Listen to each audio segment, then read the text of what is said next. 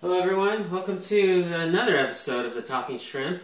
Um, like I commented on the earlier video, uh, this is the second video I've made that had, has nothing to do with food.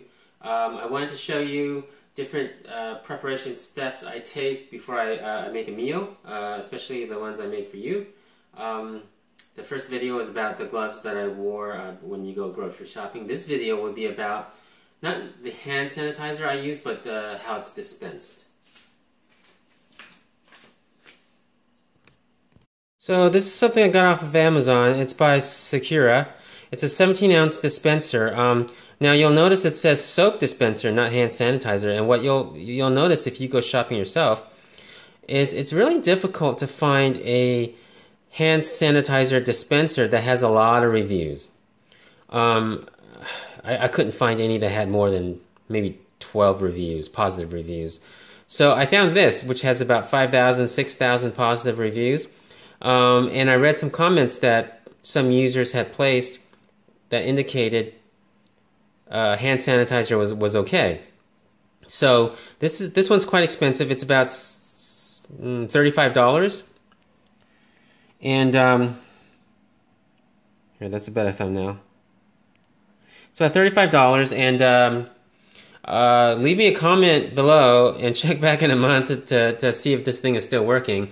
Um, because uh, sometimes the viscosity of, of hand, sanit- hand sanitizer is different from, say, soap, and that's what breaks down the machine. This one is battery operated, takes uh, four AA's, and um, uh, there's a nice little light that comes on when you use it too, and uh, you just pass your hands underneath it like this, and uh, there you go. So um, it's wall mountable, but uh, it looks kind of weird when you do that. Um, but that's up to you. Uh, we just sit, let we just sit this on the table and, and it's been working so far. But again, I've only had it for a couple days. Check back with me in a month, ask me if it's still working. But uh, it is for now, and um, it's a great way, uh, especially when you're cooking. Right, you have a lot of things going on. You have a lot of tools you're touching. Uh, it's a great way to clean your hands and uh, get back to what you're doing without having to, you know, pick up a tube of anything or a jar of anything.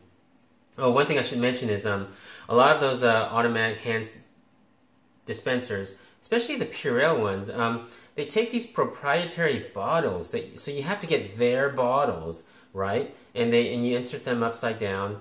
And then when the bottle's done, you have to get another one of their bottles. And what I've been reading is that a lot of users have tried to puncture a hole in that bottle just to refill it, and they've been quite unsuccessful. It, it ruins um, the dispensing. So I, I, thought that to be a little predatory, I guess. Um, you should be able to find a dispenser and just fill it up with whatever it is that you want. So I hope this helps. Leave me a comment below. Uh, if you like this video, give me a thumbs up and subscribe if you, have, if you haven't done so. I'll see you in the next video.